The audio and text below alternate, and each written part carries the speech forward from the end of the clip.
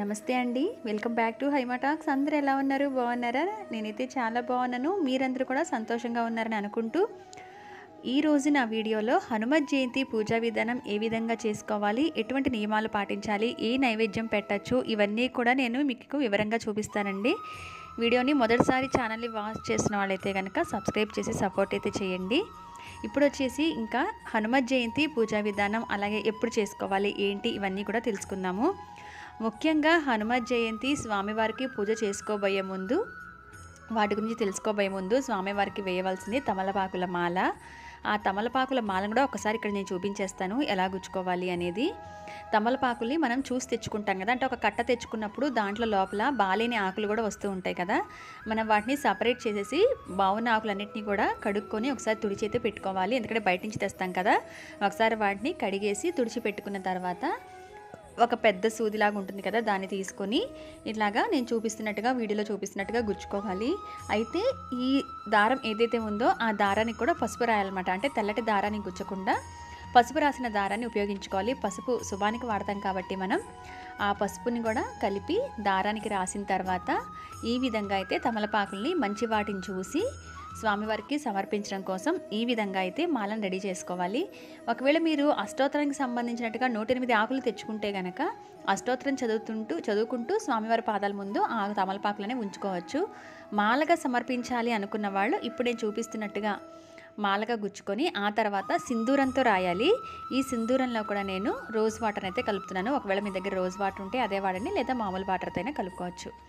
Rose వాటర్తో ఆ సింధూరాన్ని mix చేసుకొని మరీ ఎక్కువ వేసేసి మిక్స్ చేసుకోకండి. మరీ చక్కగా కూడా అక్కర్లేదు. మనం రాసిన తర్వాత అది ఆరాక బాగా కనబడుతుంది. శ్రీరామ అని రాసిన తర్వాత కాబట్టి చూసుకొని క్వాలి అంటే ఆ క్వాంటిటీని చూసుకొని వాటర్ని కొంచెం సింధూరాన్ని ఈ విధంగా అయితే కలిపెట్టుకోండి.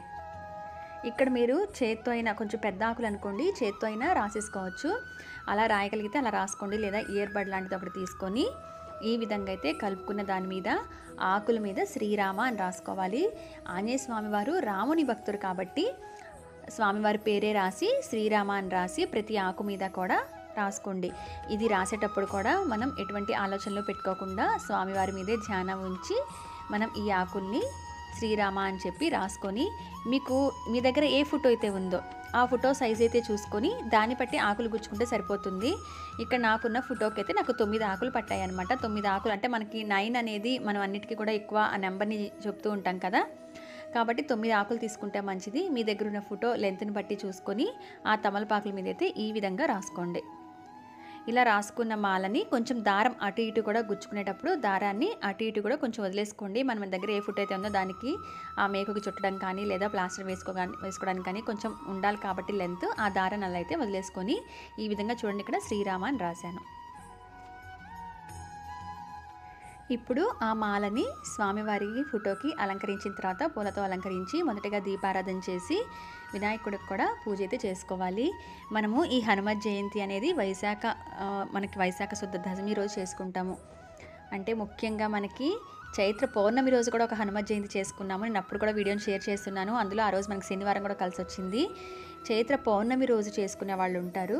అప్పుడు చేసుకొని మళ్ళీ మనమైతే మెయిన్గా ఈ దశమి రోజే వైశాఖ దశమి రోజు మనం ఈ హనుమత్ జయంతి అనేది చేసుకుంటాం అనమాట అలాగే ఇక్కడ మీరు గమనించినట్లయితే చిన్న రాముల వారిది కూడా నేను ఒక ప్లేట్లో పెట్టుకొని చూశారు కదా. స్వామివారి పూజ చేసుకోబోయే ముందు మీరు రాముల వారి చిత్రపటం ఉన్నా లేదా ఇలాంటి చిన్న విగ్రహాలు ఉన్నా పెట్టుకోవాలి. ఎందుకంటే ఆంజనేయ స్వామి వారు ముందుగా రాముని భక్తుడు కాబట్టి ఆయన్ని పూజిస్తేనే మనకి ఈ పూజకి మంచి ఫలితం అయితే మనకు వస్తుందన్నమాట ఎందుకంటే ఆయనకి శ్రీరాముల వారి అంటే ఇష్టం కాబట్టి ముందుగా స్వామివారిని అమ్మవారిని ధ్యానించిన తర్వాతే మనం ఆంజనేయ స్వామి పూజ అనేది మొదలు పెడతాం.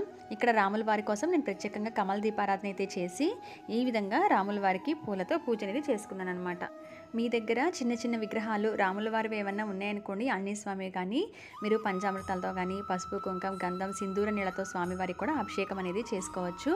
లేదా ఇక్కడ రాముని అష్టోత్తరం అలాగే సీతాదేవి అష్టోత్తరం చదువుకుంటూ స్వామివారికి పూలను కానీ లేదా అక్షింతలు కానీ సమర్పిస్తూ ఇక్కడ పూజ అనేది చేసుకోవాలి. మొదటగా రాముల వారికి చేయాలన్నమాట.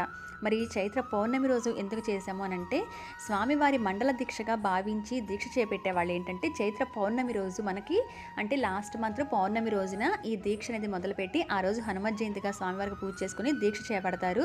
ఆ దీక్ష చేసి మళ్ళీ ఈ రోజున అంటే ఈ వైశాఖ శుద్ధ దశమి రోజు హనుమత్ జయంతి రోజు ఆ మాలను విరమి నమ్మిస్తారనమాట అందుకని చైత్ర పౌర్ణమి రోజు కూడా మనం ఒక హనుమత్ జయంతి చేసుకుంటాము. వైశాఖ మాసంలో మనకి దశమి రోజు ఈ హనుమత్ జయంతి అనేది చేసుకుంటాం అనమాట మరి స్వామివారికి ప్రత్యేకంగా చేసే ఈ దీపారాధన ఏంటంటే అరటిపండు దీపారాధన. ఇది చాలా మంచిది. ఇది ఎందుకు చేయాలి అనేది చెప్తాను. ఈ అరటిపండును ముందుగా అక్కడ పెట్టేశాను కదా ఒకసారి మీకు అరటిపండు దీపారాధన ఎలా అరేంజ్ చేసుకోవాలో చూపిస్తున్నాను.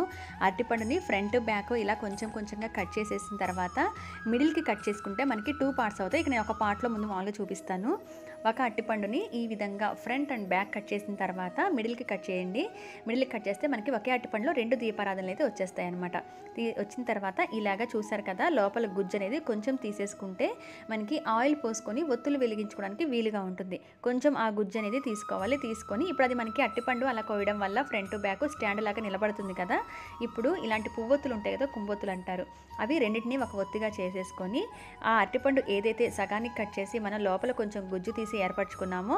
దాంట్లోకి కొంచెం నువ్వుల నూనె కానీ ఆవు నెయ్యి కానీ వేసి ఈ రెండు ఒత్తుల్ని కలిపిన ఒక పువ్వొత్తిని తీసుకొని ఒక ఒత్తిగా చేసుకున్న కుంభొత్తుంది కదా దాన్ని వేసేసి అగరబత్తితో కానీ లేదా ఏకహారితో కానీ ఈ దీపారాధన అనేది ప్రత్యేకంగా స్వామివారికి చేయాలన్నమాట. ముఖ్యంగా స్వామివారికి మీకు అందరికీ తెలిసిన ఆంజనేయ స్వామి అంటే మనకి ఏదైనా పిల్లలు దడుచుకున్నా అలాగే గ్రహ గ్రహాలు బాగాలేదన్న గ్రహపీడలు ఉన్న నరదిస్తున్నా కూడా స్వామివారి పూజ అనేది చాలా చాలా మంచిది. చాలామంది ఇన్ని శనివారాలను కానీ లేదా ఇన్ని మంగళవారాలు అనుకొని చేస్తూ ఉండారన్నమాట. ఒకవేళ హనుమ జయంతి కుదరని వాళ్ళు ఈ విధంగా మీరు తొమ్మిది శనివారాలు కానీ తొమ్మిది మంగళవారాలు కూడా స్వామివారికి చేసుకోవచ్చు.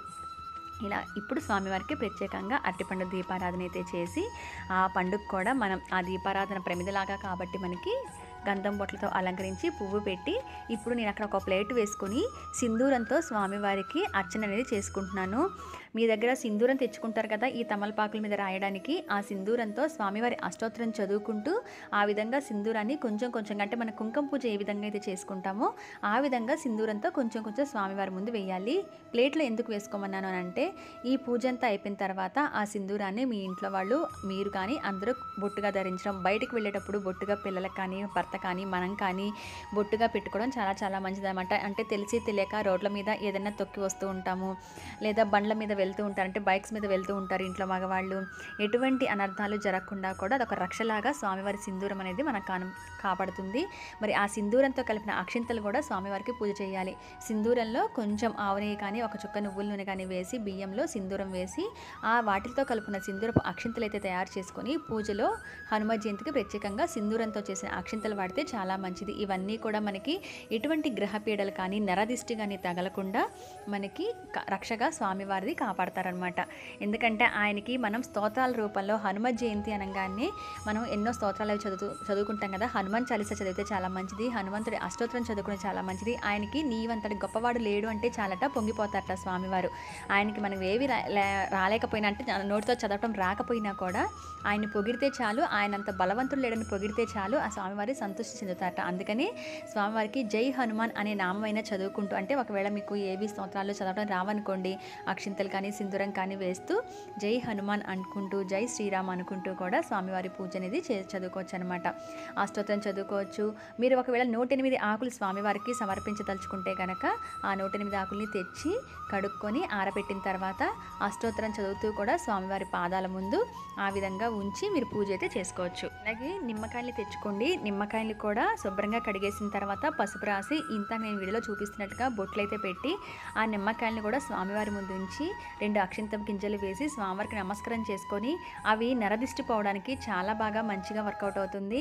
ఆ నిమ్మకాయల్ని గుచ్చి ఆ నిమ్మకాయల మాలను ఏం చేస్తారంటే మూడు నిమ్మకాయలు కానీ ఐదు నిమ్మకాయలు కానీ ఈ విధంగా తెచ్చుకొని పూజలో ఉంచిన తర్వాత పూజ అయిపోయిన తర్వాత ఆ నిమ్మకాయల్ని ఒక పెద్ద సూది ఉంటుంది కదా దబ్బనం లాంటిది దాన్ని గుచ్చేసుకొని ఇంటి మెయిన్ సింహద్వారం ఏదైతే ఉందో అంటే మనం బయటికి వస్తూ పోతూ తిరిగే దారి ఏదైతే ఉందో ఆ సింహద్వారానికి మేకుకి తగిలించండి. చాలా మంచిది. అలాగే మన ఇంటిలో మగవాళ్ళు బైక్స్ మీద వెళ్తుంటారు కాబట్టి ఆ బైక్ కట్టడం కానీ ఇవి చేయండి. చాలా చాలా మంచిది. ఎందుకంటే నరదిష్టి అనేది తగలకుండా ఎటువంటి గ్రహ పీడలు కానీ తగలకుండా జాతకాల్లో ఎటువంటి దోషాలు ఉన్న పోవడం కోసం ఇటువంటి రెమెడీస్ చాలా చాలా మంచిది. జస్ట్ సింపుల్గా నిమ్మకాయలు తెచ్చుకొని మనం ఏమి డబ్బులు ఖర్చు పెట్టక్కర్లేదు.